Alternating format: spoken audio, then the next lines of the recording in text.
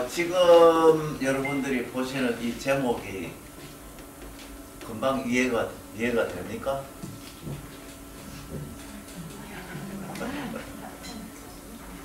관염 산수, 산수 관염.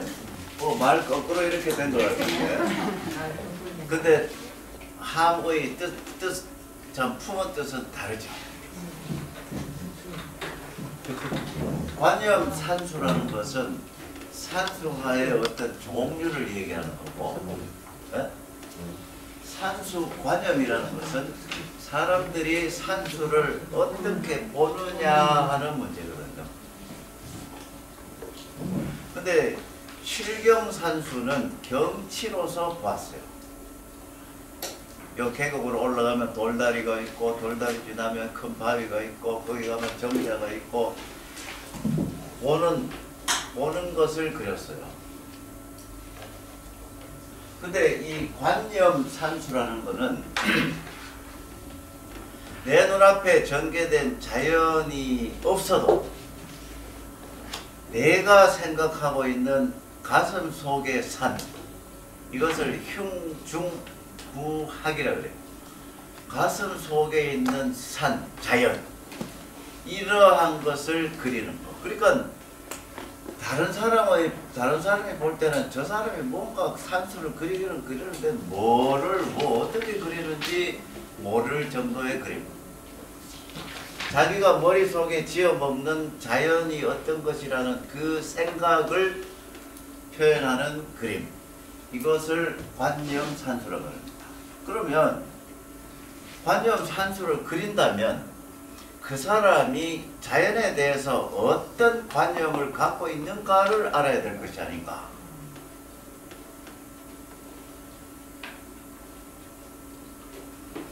요즘 우리 현대인들이 여러 가지 그 스트레스를 많이 받아서 시간과 여건이 되면 교회로 잘 나갑니다. 드라이브를 갑니다. 경치 좋은 곳을 찾아서 아니면 조용한 곳을 찾아서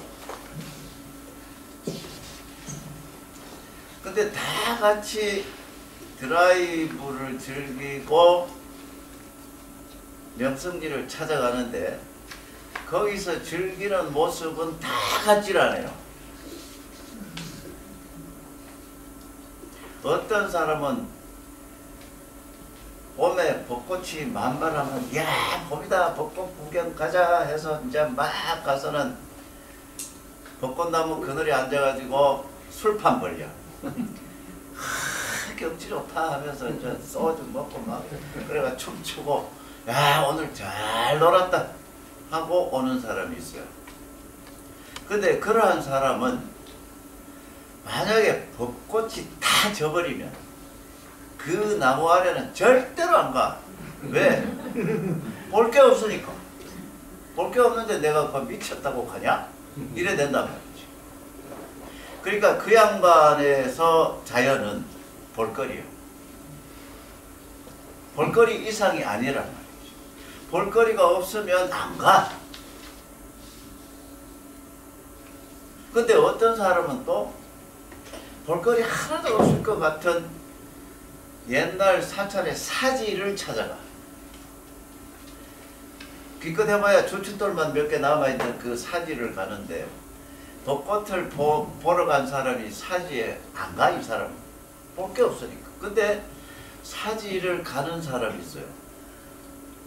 그 주춧돌 하나를 보고 야이 지금 주춧돌이 여섯 개니까 건물 지었으면 얼마나 되겠는가 한번 생각해보고 주춧돌 크기를 보고 와 이 집이 이 절이 이 번성기 때 어마어마했겠다는 것도 한번 상상을 해보고 그리고 지금 이 바위가 지금 거의 부서져 가지만 옛날에는 분명히 새 거였을 것이다. 하, 시간이 이렇게 만들었구나. 뭐 이런 틀로 생각을 하면서 사지를 구경하는 사람도 있어요. 요거는 어떻게 보느냐? 산수를 어떻게 보느냐? 이것이 굉장히 중요한데 이 관념산수라는 것은 그러그러 저러저러하게 본 그것을 그린 것을 관염산수란다. 그러면 이 관염산수를 그린 화가들은 자연을 어떻게 생각을 하고 어떤 관점에서 봤느냐 한마디로 뭉뚱그리면 자연이라는 것은 이 대자연이라는 것은 다시 말해서 인위적이지 않은 이 대자연이라는 것은 바로 하나의 형이상학적인 그 이 세상의 근본이다. 근본을 갖고 있다. 어떤 이치를 갖고 있다. 근데 그 이치를 캐기 위해서 여러 가지 이제 노력을 하죠. 저번 시간에 잠깐 얘기했지만 이 주역 역경이라는 데서는 이 도대체 이 우주를 어떻게 설명해야 할까 고민 고민하다가 음량으로 해석을 합니다. 음량. 이 우주의 이치라는 것은 다른 거 없어. 음과 양이 서로 조화하고 변화하고 바뀌는 것이다. 이게 이 우주의 근본 이치다고 얘기를 합니다. 역경에서는. 예를 들어 지금 저 나무가 싱싱하고 푸르지만 언젠가는 변해가지고 땅속을 흙이 될 거다. 지금 우리가 보기에 저 상록수는 마냥 푸르게 느껴지지만 사실은 찰나찰나마다 흙 속으로 돌아 들어가기 위해서 변화하고 있다. 궁극적으로 저 상록수는 죽어서 썩어서 땅에 간다는 그 이치를 안다면 저 상록수는 지금 저렇게 보이지만 저거는 영원한 것이 아니다고 생각할 수가 있어요. 이것이 그 상록수를 보는 눈이란 말이지. 그것을 확대해서 이 대자연, 산수, 뭐, 물, 나무, 뭐, 심지어 인간까지 포함해서 이 대자연이라는 것은 시시각각으로 변한다. 사람도 어, 어제는 애기 같더니 오늘은 노인이 됐다. 아, 어제는 미인이었더니 오늘은 그렇지 않네. 이것은 변하기 때문에 그렇단 말이죠. 그러니까 굳이 설명을 하지 않아도 대자연의 이치는 변하는 거다. 그러면 이제 이치를 한마디로 뭉뚱그려서 얘기한 거예요. 이것이 바로 역경이에요. 역이라는 것은 바, 바뀐다, 변화한다는 뜻이니까. 그러니까 변화하는 경이 바로 역경이에요. 주격, 주역이고. 그 주역은 그렇게 설명을 해요. 이 대자연이라는 것은 영원한 게 없다. 근데 또 한편으로 대자연은 지금 우리가 볼 때는 산도 있고 물도 있고 나무도 있고 꽃도 피고 지기도 하고 이 변화무쌍한 이것을 우리는 대자연이라 하지 않을 수 없잖아. 그런 말도 되잖아요. 우리가 밖에서 와 대자연에 와서 대자연의 품속에 안겼다 하는데 여기서 뭐 역 어쩌고 하면 기분 깨지잖아요. 감흥이 깨져버려. 그럼 세상에 즐길 일이 없어. 그죠? 저 꽃도 곧질 건데 뭐 즐길 일도 없고 그런데 세, 세상의 이 모든 것을 자연인데 자연은 나름대로의 외연을 다 가지고 있다. 상록수는 저 모양으로 뭐 장미꽃은 이 모양으로 개나리는 이 모양으로 그 외연이 그렇게 다양한데 이 다양한 것은 언젠가는 또 하나로 요약이 있다. 저번에 태극이 얘기했죠. 태극은 1과 2와 3이라는 수를 내포하고 있다 그랬어요. 음량으로 따지면 2. 근데 음량이 하나로 이렇게 그 융합이 돼 있어. 그것은 1이요. 근데 사실 따지고 보면 원과 음량이니까 3이야. 이런 틀로 하나로 요약될 수 있지만은 또그 외에는 무지막지하게 복잡해. 그 주역에서는 그 64괴라는 게 있어가지고 그 복잡한 것을 64괴 이 괴상으로 설명하고 있어요. 그 얘기가 뭔가 하면 자연이 그렇게 또 단순한 것도 아니고 다양한 외연을 갖고 있다는 거죠. 그래서 다양한 외연을 갖고 있는데 그것이 본래 어떤 진리라 아니면 이치에서 분화되어 나온 것이다. 이런 것을 생각하는 것. 이것이 동양의 그 전통적인 산수관념이에요. 산수관념. 물론 실경이라는 그것도 있지만 지금 관념 산수라고 얘기할 때는 그러그러한 관념을 표현한 거라.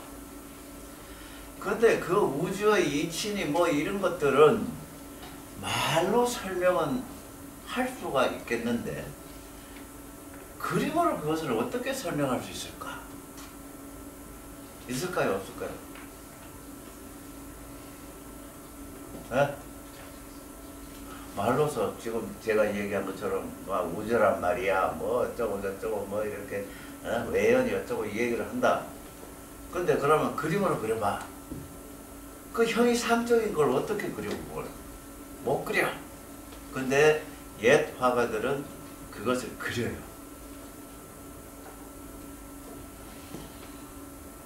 저번 시간에 제가 저 말씀드린 것 중에 지금 여러분들 잊어버렸을지도 모르는데 인가형이 탈진이라는 말이 있었죠. 기억납니까? 가짜로서 진짜를 이끌어낸다는 말. 인 원인이죠.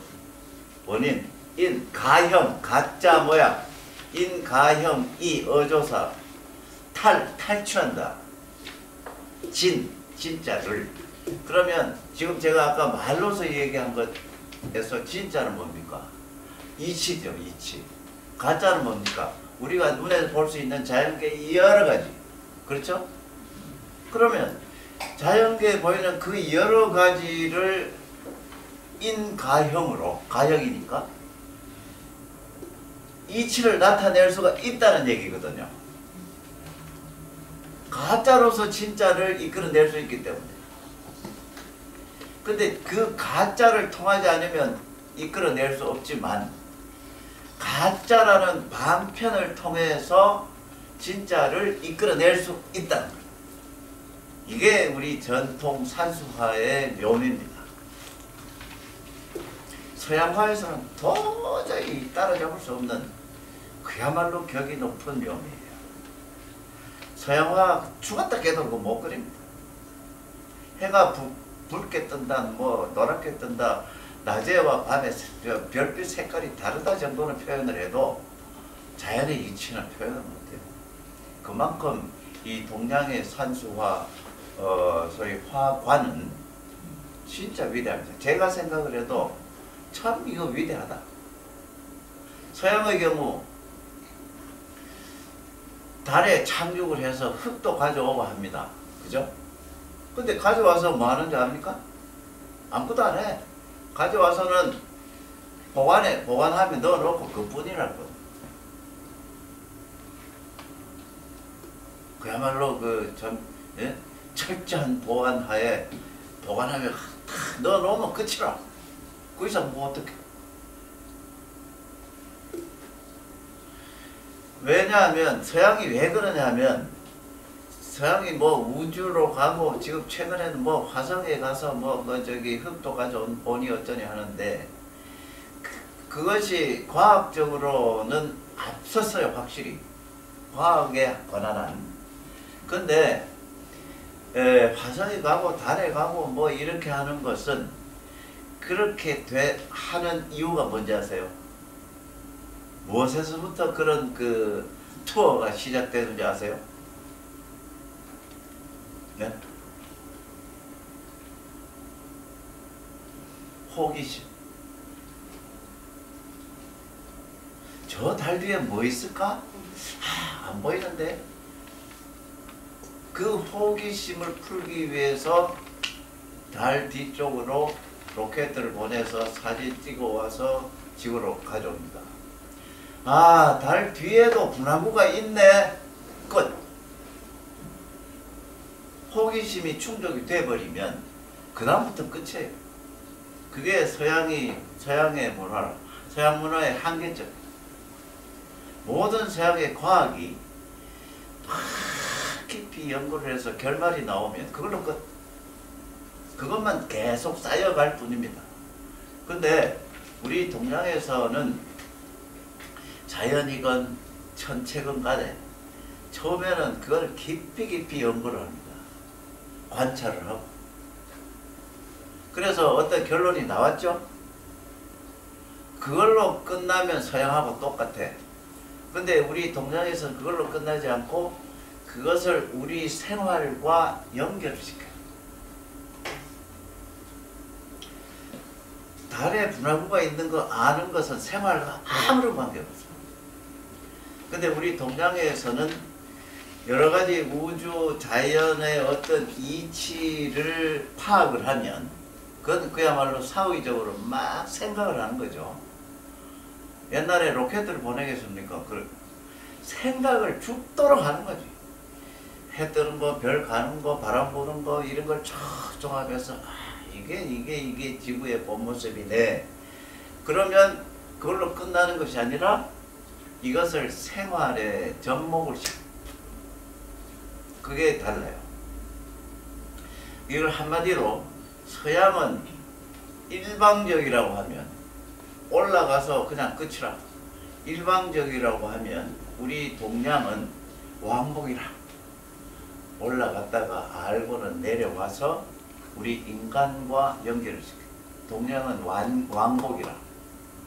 그래서 벌도 하늘이 내리는 거고 복도 하늘이 내리는 거예요. 예, 이러한 그 사고를 갖고 있는 이 동양 사람이기 때문에 자연의 어떤 진리를 깊은 사색을 통해서 파악을 하고 발견을 했어.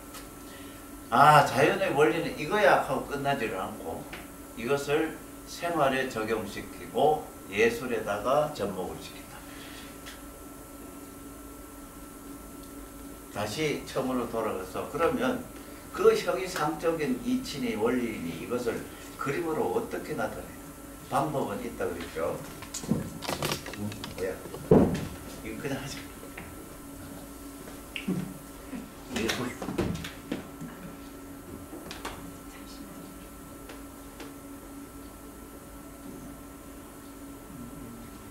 네? 네.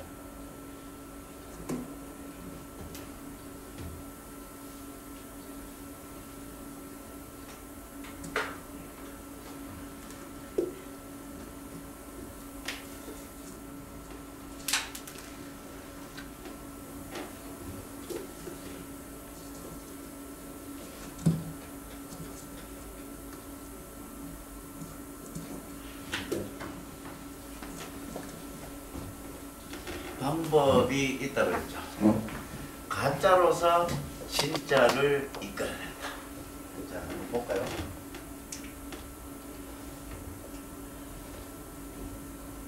이 자연은 지형적, 물질적 세계가 아니라 정신적인 세계이기 때문에 때문에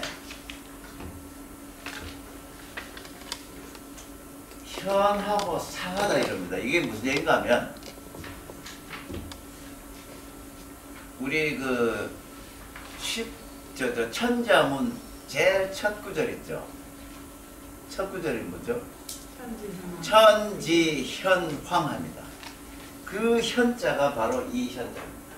근데 보통 우리는 어, 하늘 전 따지 뭐 누르황 뭐 이렇게 얘기를 하는데 누렇다는 개념이 아닙니다.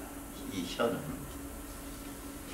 현은 뭔가 뭔가 막 하면서도 뭔가 어, 구체적인 것이 보이는 것도 아니고 그 어정침침하고 흐릿하고 뭐 하여튼 그런 것을 현이라 그래요. 그래서 사실 나무도 있고 꽃도 있고 산도 있지만 왜 현이라고 하는가? 그 원리를 뚫어져 보면 이렇다는 겁니다. 그 원리를 그 배경을 어, 들어가 보면 이렇다는 것이고 그러고 겉에 나무나 꽃이나 새들 뭐 이런 것들은 자꾸 자꾸 변해가지만 본래 자연이라는 것은 항상 그대로 있는 거다. 그대로 있는 거다.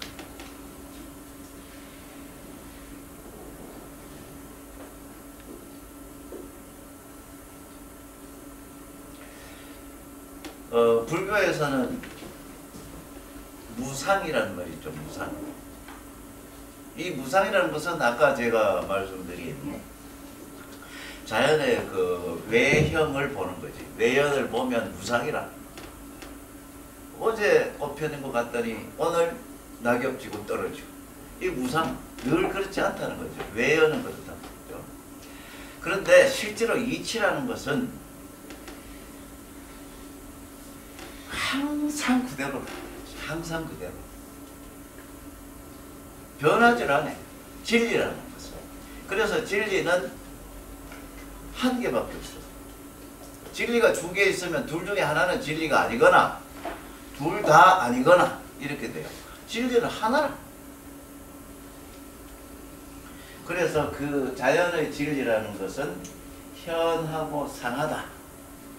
늘 그대로 있고 뭔가 뭐 이렇게 그 어, 암흑 같기도 하고 안개속 같기도 하고 그런 예, 그런 것이 자연의 이치다. 이렇게 생각하고 있단 말이지. 그게 산수관념이라. 이러한 생각을 그리면 무슨 그림이 됩니까? 관념 상- 산수화가 되는 거죠.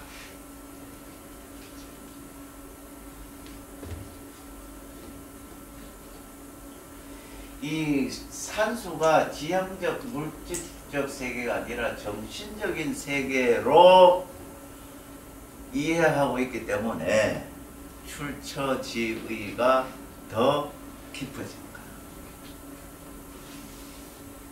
산에 산 속에 탁 있으면 뭔가 안정되고 즐겁고 그것이 산수 자체가 어떤 정신적인 세계로 어, 이해되기 때문에 그렇다는 거죠.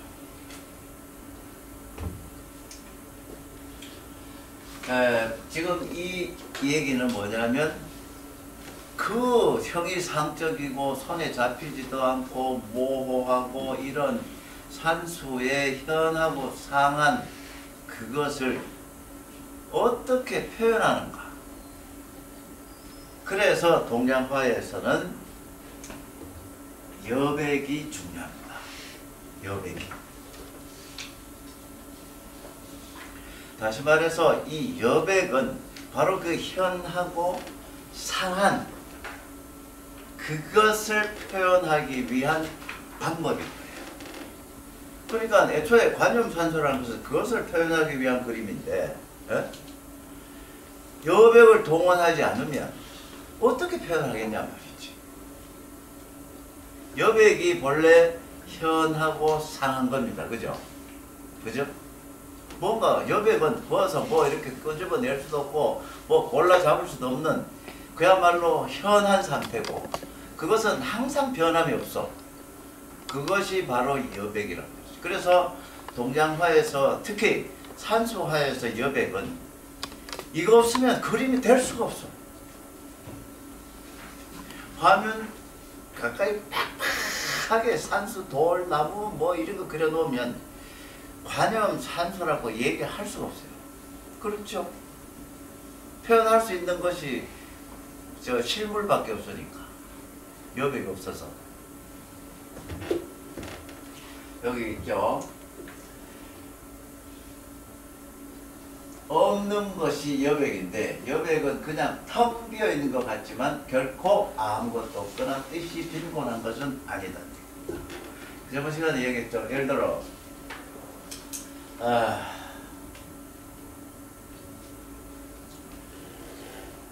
글씨가 없는 이 화면 백지.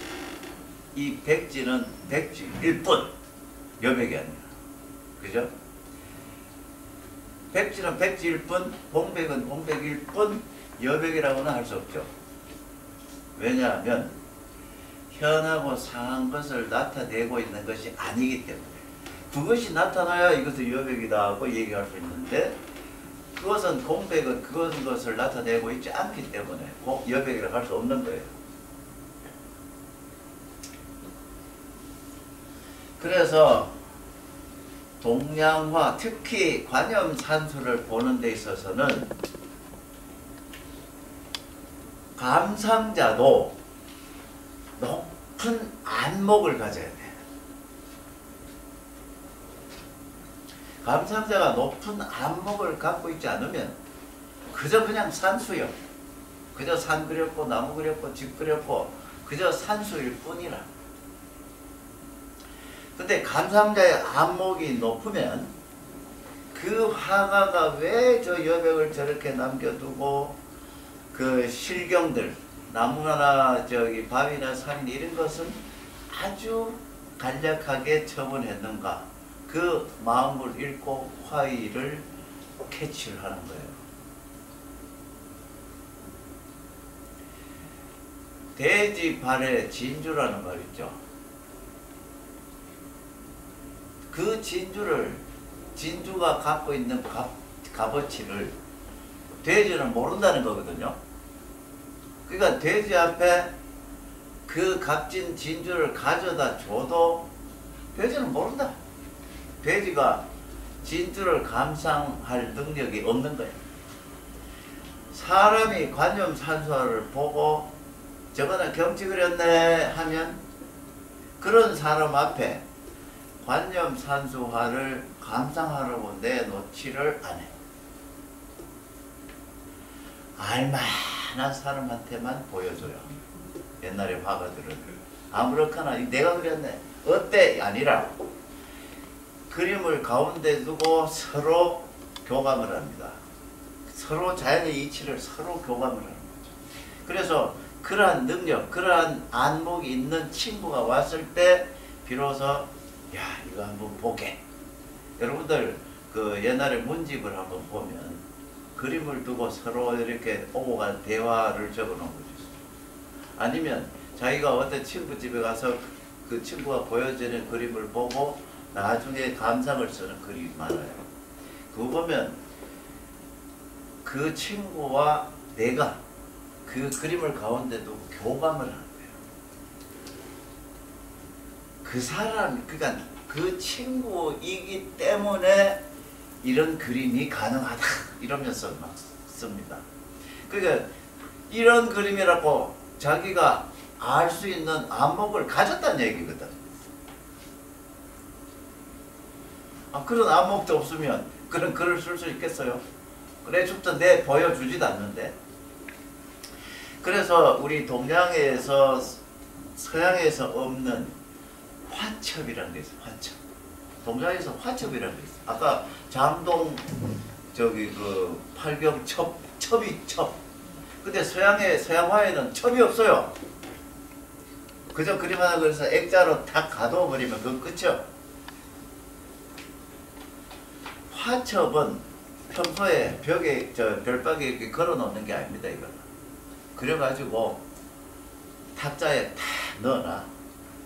근데 그림을 보통 우리는 그리면 자랑하려고 벽에 탁 걸어 놓고 이렇게 하는데 그렇게 열심히 그렸는데 탁자 속에 탁 넣어. 그러니까 에, 그것을 모르는 사람이 그 방에 가서는 그림이 어디 있는지도 모르고 이 사람이 그림을 그렸는지도 몰라. 그림이 없으니까. 근데 누가 친구가 왔어.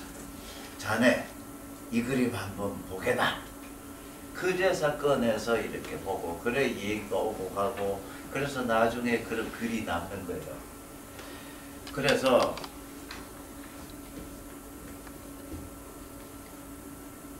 그림 특히 관염산수는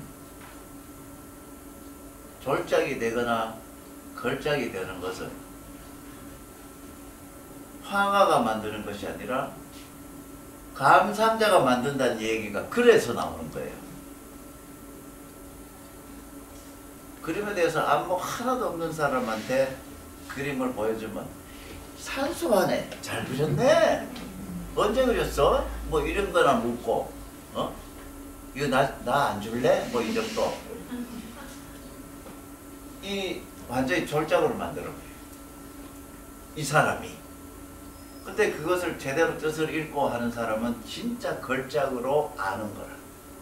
그만큼 이 우리 그 관현탄소라는 것은 그런 격이 높은 그림이란 말이죠. 그러니까 감상자가 이러한 능력이 있어야 되는 거야. 능력이 있어야 뭐 알지. 능력 없으면 그저 글 모르는 사람은 뭐 흰 것은 종이고 까만 것은 글씨다 이런다면서. 그 이 모르는 사람은 이것은 산이고 이것은 흰 종이네 이래 되는 거죠. 자, 이게 그림입니다.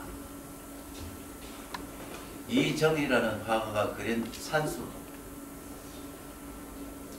만약에 이걸 서양화라고 생각을 한번 해보면 이러한 구도가 가능하겠어요? 잘못 그렸다고 될 겁니다, 우선 서양에서. 지금 여기서 거의 60% 이상이 여백입니다. 근데 다시 제가 반복하지만 지금 여기서 볼 수 있는 에, 이런 뭐 저기 누각이나 이런 바위 뭐 배 이것이 없으면 그야말로 공백일 뿐입니다. 이 붓자국 몇 개, 몇 개, 아, 몇 개의 붓자국으로 이렇게 이렇게 그림으로써 나머지 이것은 의미 있는 공간으로 변합니다. 바로 여백이라는 의미 있는 공간으로 변한다. 이게 바로 현하고 상한 그러한 여백입니다. 안목이 있는 사람은 이 누각이나 배는 그 여백을 살리기 위해서 그린 거라고 생각을 합니다. 그리다 보니까 여백이 생긴 것이 아니라 진짜는 여백을 통해서 이끌어낼 수밖에 없기 때문에 가짜를 동원한 거예요. 그래서 인 가짜 탈 진짜. 그러면 보는 사람마다 여백을 감상하는 거예요. 여백을 여백을 감상해요. 그 안에서 무한하게 상상을 하는 거라. 어? 그 현하고 상한 그 진, 진리의 세계, 어? 와, 그걸 상상을 하는데 마침 그것이 이 그림을 그린 화가와 같이 공유를 했다면 그건 성공이라. 그때부터 걸작이 돼버려.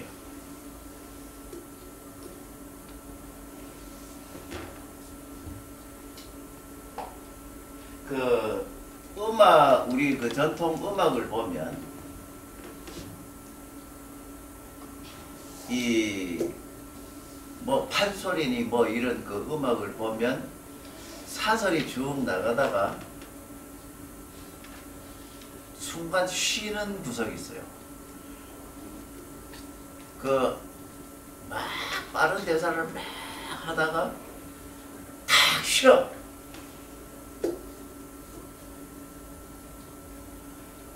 근데 애초부터 그 판소리가 저기 그 연희가 되어 되지 않았다면 그 판소리 하는 사람이 앉아가서 쉬고 있으면 아무런 의미가 없어. 근데 막 빠르게 막 사슬을 풀다가 그런데 하고 잠깐 쉬어요. 그 잠깐 쉬는 그 순간 이것을 휴지라 그러는데 쉴 휴자 그칠 지자 그 쉬면서 그치는 그런 디 하고 잠깐 쉬는 그 순간 그것이 바로 그림에서 여백과 같은 효과를 가져요. 그 진짜 나의 감정을 건드리는 노래를 들으면요. 어떤 노래를 듣고 그 노래가 끝나자마자 박수를 안 칩니다. 박수 안 쳐요. 노래가 끝났는데 관중이 조용해 관중석이. 그 조용한 순간에 관중들은 무엇을 생각했을까요? 네? 그 노래 처음부터 끝까지 막 번개 같은 속도로 샥 살필 거 아니냐 말이지. 감정이. 그것은 음악의 휴지고 그림에서는 여백이라. 무용에도 있어요 우리나라 무용. 특히 저기 그 뭐죠? 살풀이 살풀이 춤을 보면 뭐 이렇게 해서 이렇게 추다가 어깨를 들썩 하고는 잠깐 쉬어. 서양의 춤은요 쉬는 순간이 없어. 처음부터 끝까지 쉬는데 우리 그 특히 탈춤 같은 거 보면 뭐 이렇게 해가지고 어깨 착 하고는 순간 착 쉬어요. 이것이 바로 그림에서 여백과 같은 효과입니다. 서양의 재즈, 춤, 뭐 디스코 이런 거 여백이 있습니까? 여백 없어요, 거기. 여백이 없어. 근데 우리나라 춤이나 노래 보면 여백이 있어. 여백 속에 우리나라 사람들은 그 가사나 그 음악 소리 몸짓보다 더 많은 것을 순식간에 탁 알아먹어. 우리나라 사람. 그 절에서 그 아침 저녁으로 그 범종을 치잖아요. 어? 그 당으로 탁 치면 범종이 소리가 띵 하고 이제 나오죠. 첫 번째 때렸을 때 소리가 와 커졌다가 싹 사라집니다. 사라질 때 다시 치는 것이 아닙니다. 범종 칠 때는 샤 해가 사라지고 소리가 없는 상태가 몇 초 지난 다음에 다시 때려. 그러면 첫 번째 때릴 때와 두 번째 때릴 때는 끊어진 것이 아니라 그 무금의 상태, 무금의 상태로 연결이 돼요. 이해가 갑니까? 다시 말하면 소리가 끝나는 것은 무금이죠. 소리가 끝나는 것은 소리가 사라지는 건 무금. 소리가 것은 무금. 그러면 다음에 두 번째 소리가 다시 살아날 때는 어디서부터 출발할까요? 무금에서부터 출발할 거 아닙니까? 예? 처음부터 띵 소리 나고 그냥 출발합니까? 안 그렇잖아요. 띵, 띵, 띵 할 때 이렇게 해서 무금으로 갔다가 무금에서 시작해서 다시 소리로 나오고 이렇게 되는 거 아닙니까? 무금, 이, 그 음악에서는 무금, 어, 휴지, 무용에서도 무용에서도 그것도 휴지라고 그래요. 동작 멈춤. 그리고 그림에서 여백. 이것을 같이 이해를 하시면 된다. 그러면 여백이 갖는 의미를 우리는 그저 단어로서 풀어서는 될 일이 아니라 이거는 느껴야 돼. 아 저게 느, 저 여백이고 저 음악에서 저게 여백인데 그 여백이 없으면 음악이 너무 혼란스러워질 것 같고 어? 뭐 느낌이 더 반감될 것 같은 그런 느낌이 있어요. 에, 그래서 회화에서 여백은 매우 매우 중요하다.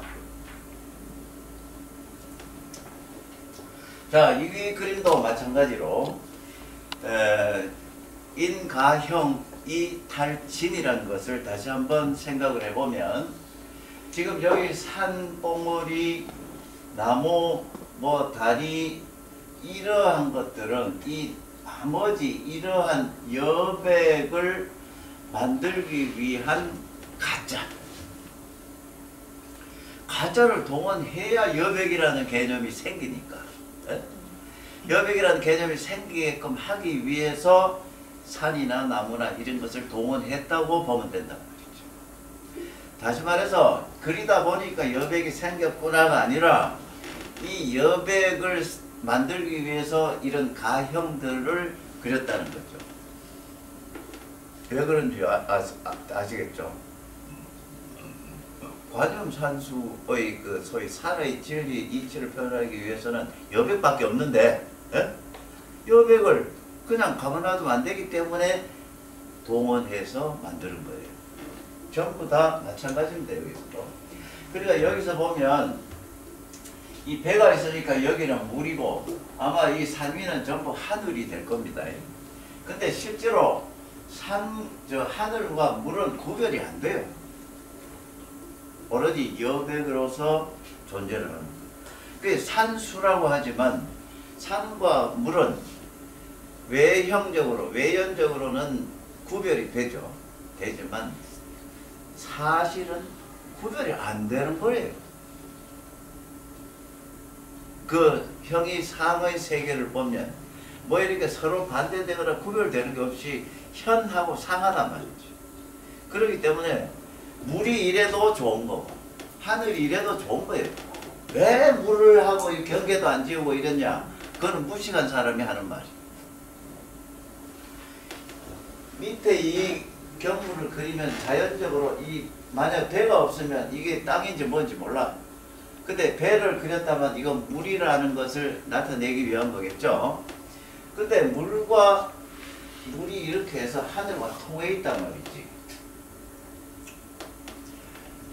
현이라는 것은 구별이 안 된다는 거, 거라고 그랬죠. 구별이 안 되는 거. 그 현이, 그 바로 현의 세계를 표현합니다. 이것이 관염산수다. 여기서도 뭐 이게 안개라고 봐도 되고 뭐 물이 여기까지 이렇게 가 있다고 봐도 되고 하여튼 애매모호하단 말이죠. 그 애매모호함을 이 산소화는 그리고자 한 거예요. 서양화 같으면 적어도 이렇게 그리면 전부 콘테스트에 낮방 먹을걸요. 산하고 하늘이 왜 이래 붙었어? 하고 따질 겁니다, 우선. 에, 애초부터 자연을 보는 눈이 다르기 때문에 그렇다. 에, 이런 그림들도 다 마찬가지 설명을 할 수가 있죠. 어, 지금 대강 보면 관염산수의 그 대강의 어떤 그 공통된 특징 뭐라고 할 수 있겠어요? 공통된 특징. 뭐 여백이 많다는 것은 뭐 우선이고 그 다음에 경계가 없다. 경계가 경계가 없다.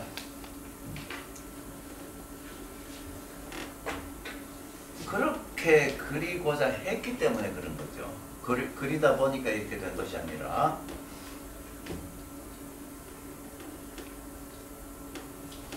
아, 지금 지금까지 본 거는 어,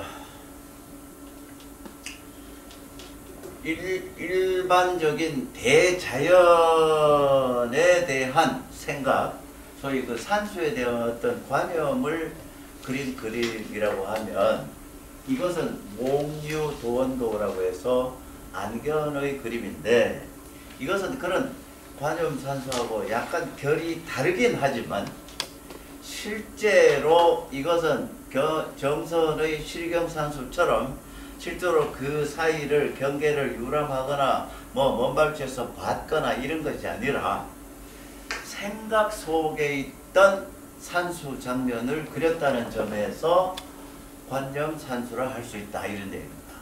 근데 결은 분명히 달라요. 그죠? 결은 분명히 달라요. 어, 몽유 도원도에 대해서는 뭐 여러분들 상식적으로 잘 아실 텐데, 예, 아까 그, 어, 이 무게 정사 얘기할 때, 그 안평대군과 세조의 그 권력 다툼, 권력 다툼이 있었던 그 시기, 그 시기에 이 안평대군이 그러니까 그 소위 그 어, 형제끼리 권력을 다투는 것은 이건 누가 봐도 좋은 꼴은 아니거든요. 좋은 꼴이 아니고 그러고 현실 정치라는 것이 에, 그야말로 어, 한편 생각을 하면 좀 추잡하고 어, 그래서 안평대구는 항상 현실 속에서 세상이 이렇게 어지럽고 복잡고 이래서 항상 현실을 도피하려는 그러한 성향을 가진 것 같아요. 그, 이 안평대군의 그 보면 제발이라는 게 있어요. 이 그림을 그린 내력을 쓴 부분이 있어요.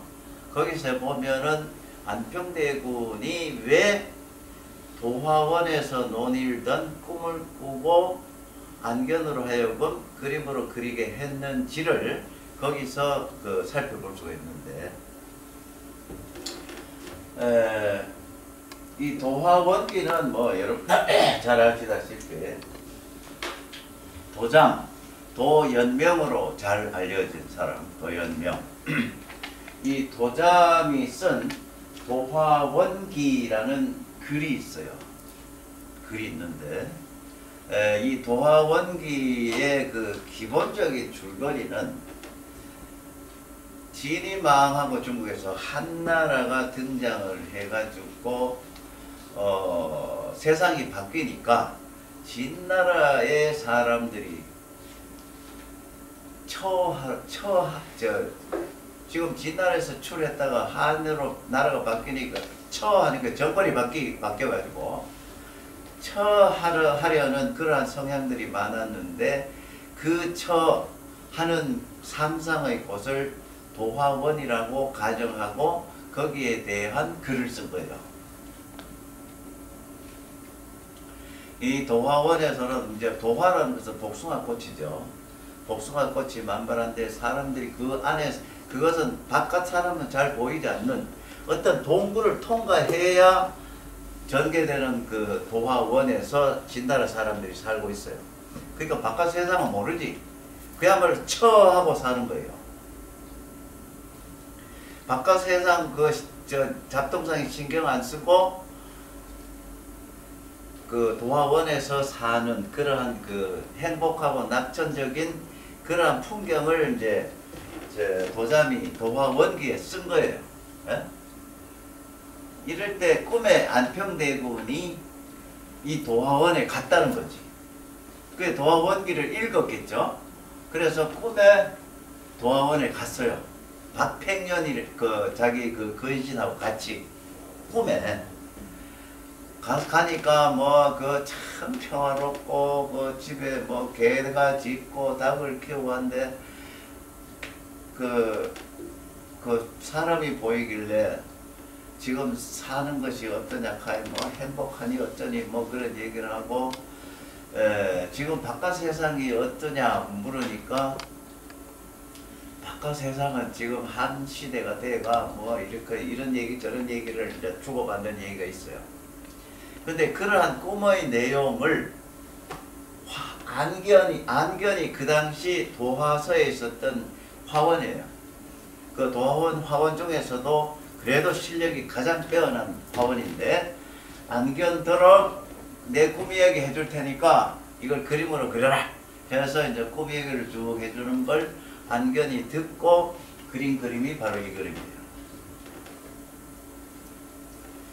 에, 실제로 이 부분, 이 그림에서 이 부분이 도화원입니다. 지금 이잘안 보이지만 복숭아 꽃이 만발해 있죠.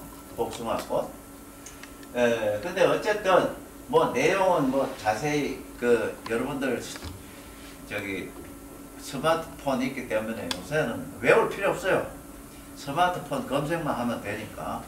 에, 하여튼 어쨌든 이러한 그림도 실물을 보고 혹은 경험하고 그린 것이 아니라는 관점에서 관념 산수를 할 수 있다는 정도의 지식을 갖고 있으면 돼요.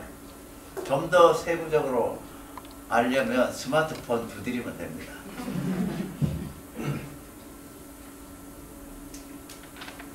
자, 그 다음에 소경 인물 산수라. 지금 다시 돌이켜 보면 진경산수, 관염산수 이것은 뚜렷이 구별이 됩니다. 그렇죠? 구별이 되죠. 그런데 도대체 소경 인물 산수 이건 뭐냐?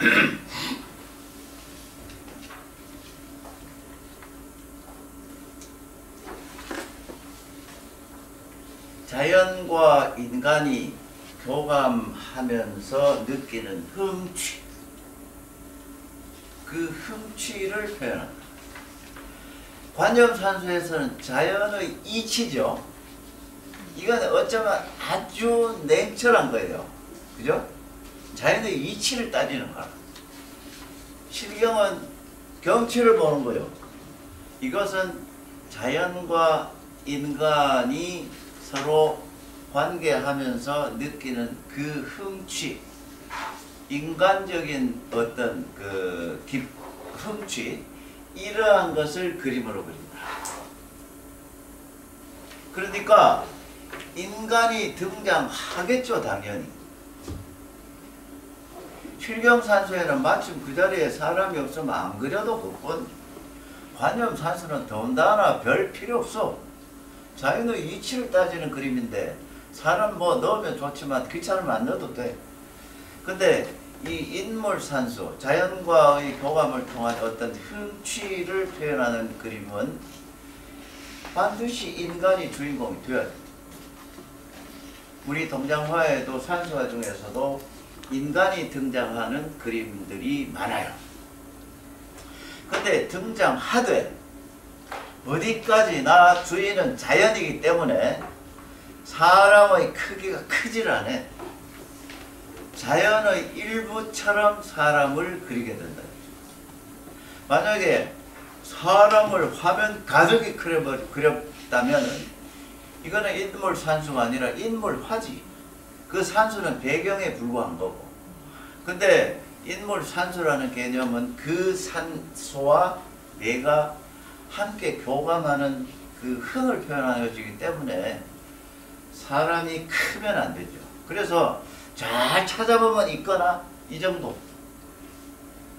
말하자면 자연도 산수의 한 부분으로 생각을 한다 이 말이죠.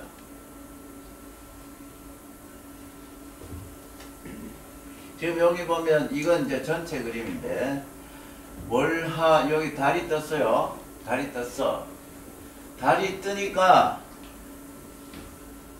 초, 초, 초에 앉아서 있는데 달이 싹 뜨니까 마음속에 흠취가 막 일어나. 내가 이 방에 앉아 있어야 되겠어? 달을, 달밤을 즐기고 그 분위기를 좀 맛보고 이거 하고 싶단 말이야. 흥이 일어. 이것을 가흥이라 그래요. 가인하죠. 절세 가인. 아주 아름다운 흥이에요. 그 흥이 일면 선비 스스로 지팽이를 짓고 산속으로 이렇게 헤매기도 하지만 또 어떤 경우에는 야 돌쇠 밖에 있냐? 나 지금 그 달맞이 하고 싶은데 뭐 수레를 대령하라. 그리고 저차 끓일 것도 좀 씻고 이런다. 그 이제 그 옛날에 문집에 그런 게 나옵니다 점자에 놀러 가는데 차가 없어서 될 소냐 뭐 이런 토로 이제 얘기 나와요. 그러면 이제 그 소위 사동이 차 끓일 뭐 차도 준비하고 배 물 물 물에 갈거 같으면 배도 준비하고 그래서 이제 준비해 주면 배탁 타고 그 사동이 저으면 거기 앉아가지고 이제 별저 달을 보고 주변을 감상하는 거죠. 자연과 내가 일체다 뭐 이런 토로 이제 기쁨을 느낀다 뭐 이런 토로 해서 그러한 화의를 갖고 있는 그림이 바로 이런 그림이에요. 달이 뜨니까 기분이 좋고 해서 야 배 갖다 대어라 하면서 이제 하고 이래가지고 배를 요 요 있죠. 이래가 자연을 즐기러 가는 거예요 지금. 그러니까 지금 위에서 본 두 가지 유형하고는 또 다르죠. 그죠? 또 다르다.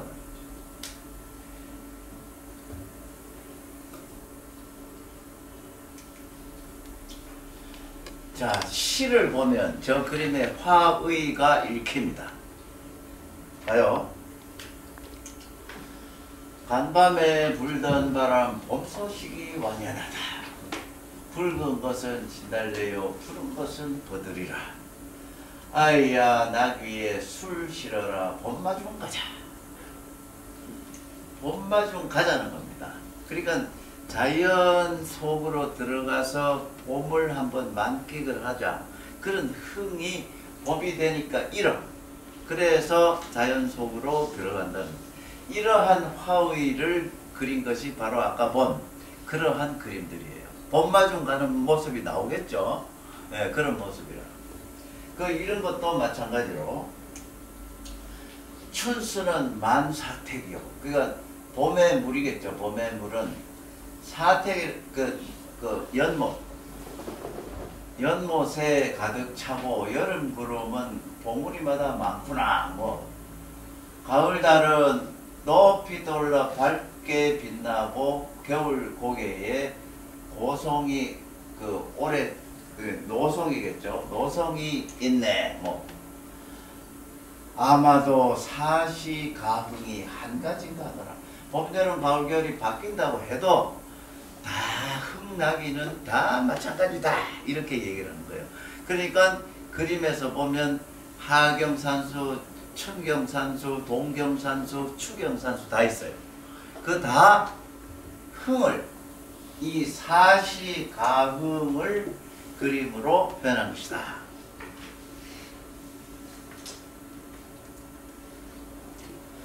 이 가흥이라는 개념이 그런 거죠.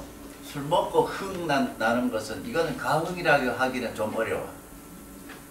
술 먹고 기분 좋다 하는 것은 그것은 물론 그 사람의 어떤 그 정신적인 면도 있지만 술 안 먹었으면 그 행동을 안 했다면 그건 흥이라고 할 수 없지.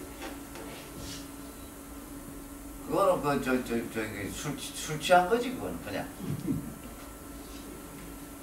술 안 먹어도 자연을 보면 이 흥취가 일어서 다리 하나 싹 뜨는데도 흥취가 일고 아니면 진달래꽃이 착 피는데 흥취가 일면 그제서 만끽하러 자연 속으로 들어가서 거기서 느낀다. 그런데 이 흥이라는 것은 갑자기 생겨났다가 자기도 모르게 사라질 수가 있었고 이런 일화가 있어요. 어떤 선비가 이 서안 앞에서 앉아가지고 공부를 하다가 갑자기 옛 친구가 생각이 났어요.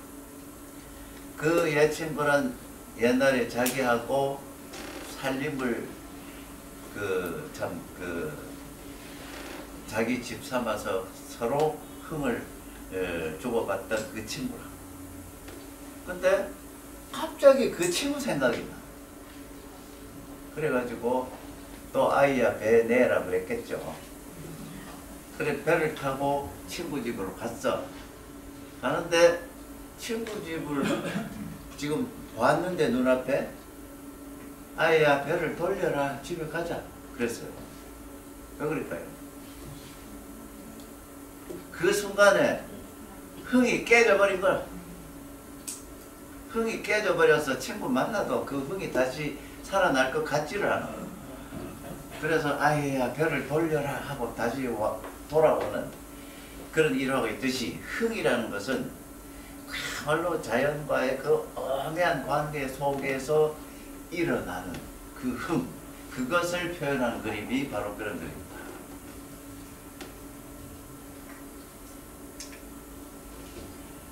에, 지금 탐매도 매화를 찾아 나서는 것. 여기는 비교적 인물이 크게 그려져 있어요. 근데 이것도 화첩입니다. 화첩. 화첩으로 그려져 있는 거고. 이거는 이제 눈이 오는데 당나귀를 타고 소위 설경을 즐기러 가는 장면입니다. 설경을 그리러, 저, 즐기러. 이러한 그림은 분명히 실경산수도 아니고 관염산수도 아니고 소경인물산수 이렇게 분류를 할 수 있습니다. 다 어쨌든 간에 이러한 그림들을 향유했던 사람은 서민들이 아니라 사대부들입니다. 소위 그 조선시대의 지배층을 형성하고 있던 사람들이 이러한 그림을 즐겼어요. 그러니까 어쩌면 이런 관념산수, 실경산수, 이 소경 인물산수는 조선시대 소위 지배계층 사대부들의 신미한 어떤 것을 아름답게 생각하는가를 에, 보여주는 그림들이다. 이렇게 에, 한마디로 할 수가 있죠. 자, 이제 결론을 내려야 될 텐데 결론은 차분차분하게 한번 읽어봅시다. 지금까지 해온 걸 요약해 놓은 겁니다. 다 같은 산수화라도 단순히 경치를 그렸느냐, 자연이 주는 감격을 표현했느냐, 아니면 자연의 이치를 드러냈느냐에 따라서 그림의 성격과 품격이 달라진다. 그 위에서 봤어요. 작품을 신품으로 만들기도 하고 절적으로 만들기도 하는 것은 전적으로 감상자의 안목에 달려있다. 전통시대에서는 이게 매우 중요합니다. 요새는 감상자의 안목은 크게 필요로 하지 않는 시대에 살고 있어요. 왜냐하면 김아무 화가는 유명한 화가야 하면 그림값이 올라가니까. 안목이 있으면 좋은데 없어도 현대 사회에 살아가는데 지장은 없어. 다른 사람 일에 이 얘기 들어보고 어? 좋다더라 하면 사면 돼. 그, 그- 바로 그 말입니다. 이. 그림을 대할 때 이치를 드러낸 그림이라면 나도 나도 그것을 그대로 체득을 해야 하고 흥취를 표현한 것이라면 그 흥취를 나도 공유를 할 수 있어야. 하, 그 느낌이 나도 알겠다 저 느낌 뭐 이런 게 있어야 된다는 거죠. 그리고 경치를 그린 것이라면 무엇을 어떻게 그렸는가를 살피는 눈을 가져야 한다. 아까 천, 저 천풍계 그림 그렸죠? 저 그림 봤죠? 드론 타고 본 그림이 아니라 고원, 평원 그러니까 넓게 보는 방법, 높이 보는 방법 이런 방법으로 그렸구나를 알 필요가 있다는 거죠.